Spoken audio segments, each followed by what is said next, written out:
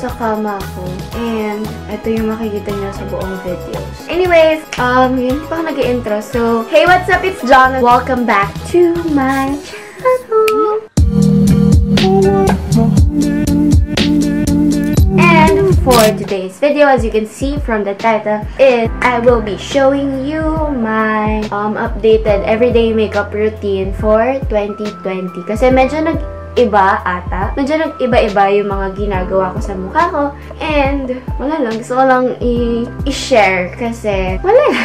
And today is, it's already 8.26 a.m. And it's a bit early for me. I-hairpin ko muna yung bangs ko para makapag-ayos ako. Wait. What? Mukha akong itlog. Pero yeah. So, let's go. I have here my makeup kit. Wow, pala mo babaeng babae tayo. Pero, ayan, may makeup kit tayo dyan. Share ko lang, hindi ko kayang mag, um, humawak sa mukha ko nang hindi nag-alcohol.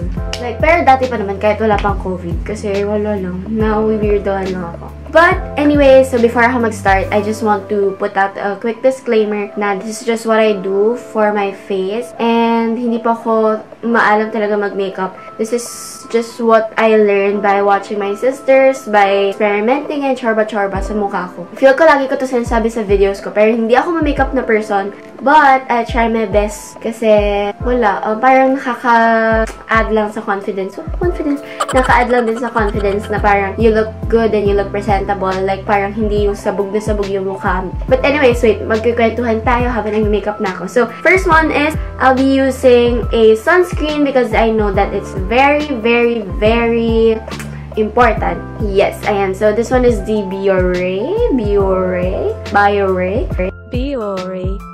I don't know, pero ito yung sunscreen ko. And before, I used to, yung sunscreen ko dati is yung Bello. Kaso, yung Bello kasi, meron siyang, anong tawag doon? Wait, kumuha lang ako ng ganyan lang. Yung Bello kasi, may color siya. So, para siyang foundation. Eh, medyo ayaw ko nun. Ito kasing Biore, wala siyang color talaga. Like, wala, ayan lang, oh. Di, wala, wala lang.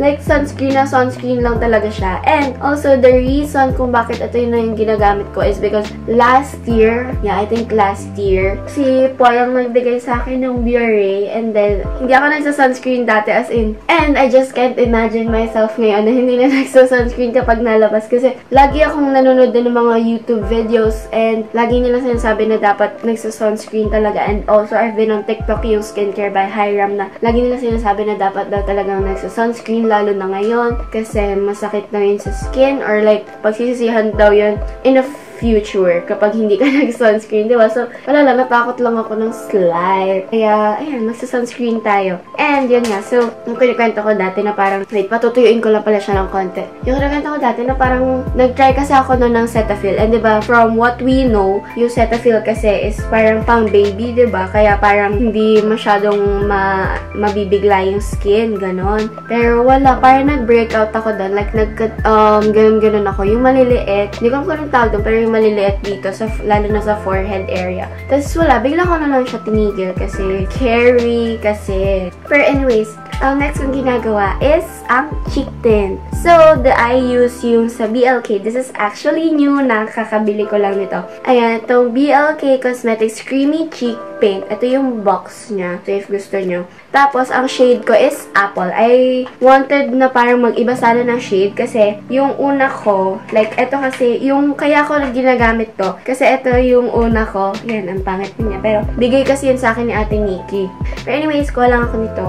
And ito, super pigmented siya. Actually, kaya binigay sa akin ni Ate Nikki kasi super pigmented niya as in, ilang ano ko to bago na perfect na hindi masyadong mapula yung sa mukha ko. Pero, konti lang lalagay ko. May pimple ako. Hindi siya pimple, pero nadugo siya. Pero ayan, konti lang yung lalagay ko. Like, ganyan lang.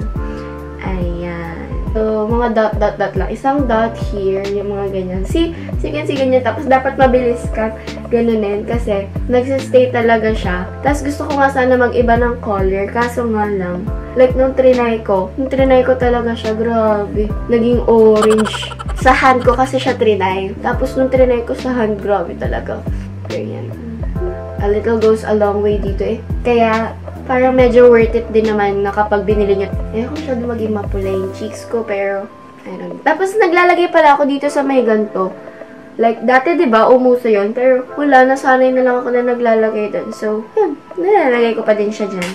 Wait, feel ko hindi ako naging, hindi to magiging makeup vlog. So, gawin natin, ganyanin natin siya. Ayan, ayaw niya mag-focus. And then, the next thing, um, gusto kong mag-concealer. May pa-concealer tayo, guys. Ayan. So, my concealer, actually, lately ko lang to nabili kasi hindi ako nagko-concealer talaga. Nabili ko lang to, tsaka nagpilit lang ako na mag-concealer nung may photo shoot. Tapos, ang laki ng pimple ko ata dito or dito. Eh, parang nababother talaga ako na hindi ko siya malalagyan.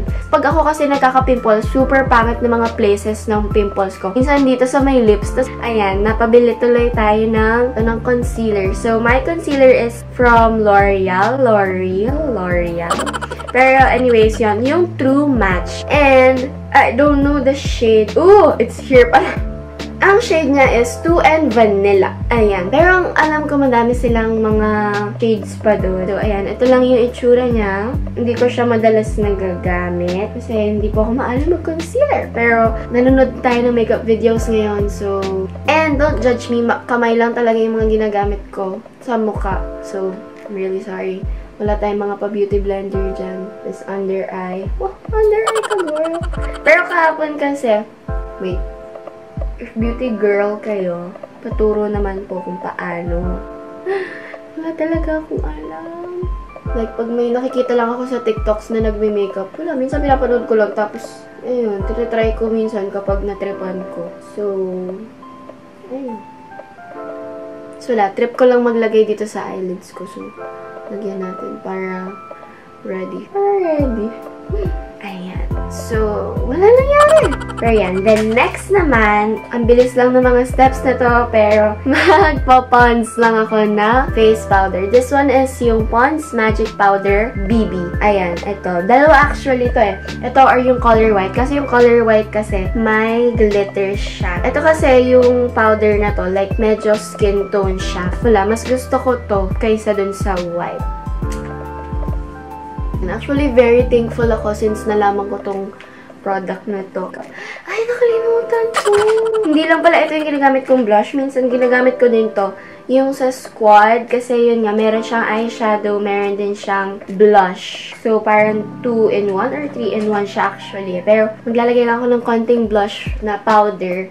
Feel ko lang madali akong mawala ng kulay sa mukha. So, ayun, the more the merrier. Pero nawala yung color sa face kasi kapag super init. Ayan, tapos napupunta lahat sa mask. Ayan, ito lang dinadala ko para picture ready. Ayun lang. So, konti lang, konti-konti lang talaga yung nilagay ko. Next naman is maglalagay ako ng eyeshadow. Pero isang color lang naman yung gamit ko. So, feel ko madami yung matitrigger sa akin kasi nag hands ang gamit ko. Pero kasi, nahihirapan pa ako ngayon gumamit ng mga brushes. Although may brush sila, mami. Eh, wala. Hindi ako... Ang weird ng panahon, no? Minsan malamig, minsan bilang iinit. By the way, ito nga palang gamit ko sa cheek and sa eyeshadow is yung sa Squad na blush eyeshadow palette. Ayan. And if you've been watching my vlogs, yan, alam niyo yan. Kasi parang, saan nga ba itong video? Yung what I got for Christmas yan. Bigay kasi siya sa akin nila Ate Shane. Pero yan. So, I think this is okay. Alam mo, wala lang nagawa yung concealer talaga. Pero, next naman is lalagyan ko lang na shimmer, shining, shimmering yung face ko. With this one, yung nasa, nasa gitna. Kasi, actually, wala siya nagagawa eh gusto ko lang isipin na meron siya nagagawa. Pero, wala talaga. Oh, meron pala. Masyado ako madami na palagoy. Okay, shumani dyan. Then, nilalagyan ko lang siya minsan ng konti here para may glitters lang sa my eyebrows. Wala siya actually nagagawa. So, alam niyo ba, kanina may pinag-uusapan tayo, di ba, before ako mag-makeup, pero nakalimutan ko na. Pero next one naman is mag-lip gloss. Lip gloss lang ako. And the lip gloss that I'm using is, what is this? Ito, actually, may kasama din siyang eyeshadow. Ito yung eyeshadow ko gamit dati. This one is from Sep Beauty. Ayan, My Matte Kit. Yan, may kasama siyang eyeshadow. But, ang ginagamit ko na lang dito, syempre, kasi meron na akong eyeshadow, is yung kanilang lip balm, which is paubos na. As you can see, ayan, yan na lang yun. Pero kasi halala, nasanay lang ako na, ano, ito yung ginagamit na lip balm. So, and then, next one is, I'll curl my lashes na. Patapos na tayo! I'll curl my lashes na, yan. And I think, ang daming beses ko na din nasabi ito sa vlog ko, pero super natutuwa pa din ako kasi maalam na ako mag-curl ng lashes. Like, last year lang din ata ako natuto mag-curl ng lashes. Wala-wala talaga akong kaarte-arte noon dati sa mukha. Pulbo lang. Tapos, actually, dati hindi pa ako naglilip tint eh. Like, dati nung nasa school, kapag nakikita ko mga kaklase ko naglilip tint, parang, wala lang, wala akong pake. Pero ngayon, pag naglilip tint sila, naglilip tint na din ako. Like, syempre, nung may pasok. And then, yan, tapos ko na i-curl siya, naiiyak na ako. Pero, gaga gagamit naman tayo ng mascara. And my mascara is from Maybelline, yung Total Temptation. And ang dumi na niya. Sana hindi niyo nakikita. Pero, bigay kasi ito sa akin ni Ate Nikki nung birthday ko. Ayan, and super ganda nito as in. Ayan, and ang tagal na nito ha. June, last year pa, ba diba? June yung birthday ko. So, ayan. Pero, ow! Napapikit ako. Alam niyo, pag sa mata, lagi lang ako naiiyak. Share ko lang. Hindi ko muna kayo kakausapin kasi may iyak na naman ako. Diba, a little goes a long way kapag gamit nyo to. Ayan. Pero next one naman na gagamitin natin is, um, everyday, ang problema ko sa face ko is what lip tint I'll be using. If gagamitin ko ba tong squad na lip tint talaga, or etong happy skin na lip balm, but with color. Kasi, pag lip tint kasi, I'm very comfortable sa mga ginagawa ko kasi hindi nga siya nagta-transfer or anything.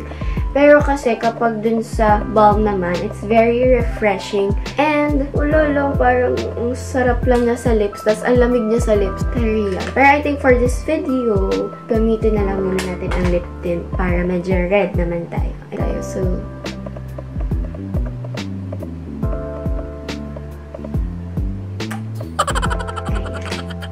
Ayun. And I am done with my makeup. Ay, so yun lang yung ginagawa ko sa face ko. Pero yeah, so, yan lang yung ginagawa ko sa face ko. And wait.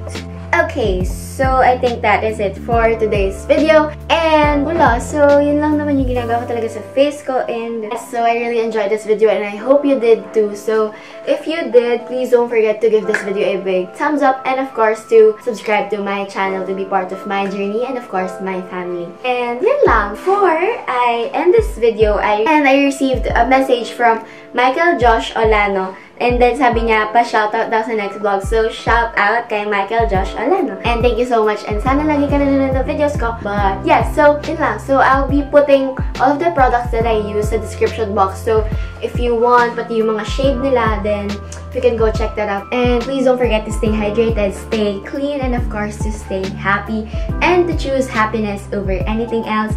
I really hope to see you in my next one. XOXO.